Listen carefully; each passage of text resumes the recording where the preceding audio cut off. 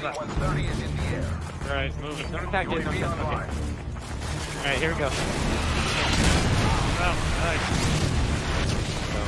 Yeah, you're all clean. Keep pushing forward. Yeah, guys, coming up through the middle. Go, go, go, go, go. Coming up through the middle. One right in front of you. Stop.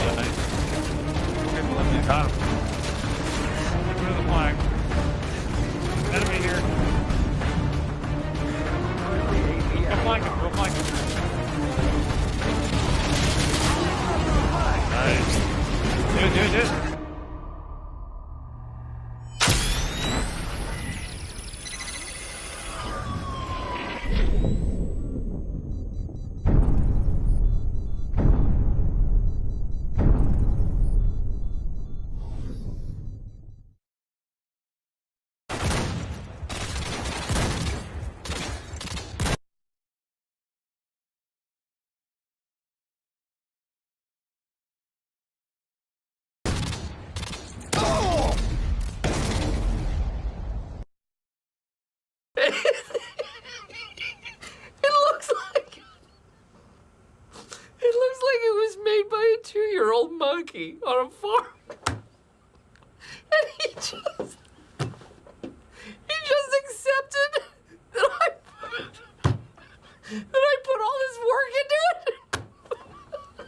Oh man. Hey everybody, so today is April Fool's. I'm sorry for this cruel joke of a video. Modern Warfare 2 Remastered does not have multiplayer, and it seems as though it will not have multiplayer for the foreseeable future. Activision says that they don't want it to have multiplayer because they feel that it will separate the player base between Modern Warfare and Modern Warfare 2 Remastered, and that's something that they don't want. But obviously, from watching this video, the community, you guys, disagree and you think otherwise. I personally really want Modern Warfare 2 multiplayer, and there's currently a petition on change.org for Infinity Ward to add multiplayer to Modern Warfare 2 Remastered.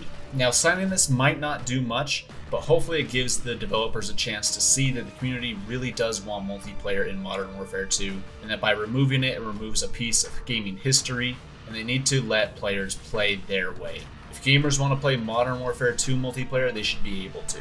They should take it as a compliment that people really enjoy their product, that they're wanting it this bad. So you guys should all go and sign that petition. Hopefully we'll get this change or at least an official statement from Infinity Ward or Activision, at least talking about this. I have another video on the channel specifically talking about multiplayer and all details about that. There's been leaks saying that multiplayer has actually been in the game code for Modern Warfare 2 Remastered, and that's why the file size is currently like 47 gigabytes, is that multiplayer is in the game code. It was just cut and made unavailable at the last minute. So once again, I'm sorry for this April Fool's joke, but it does bring up a serious topic, and we need you guys' help in the community if we want multiplayer to return to Modern Warfare 2.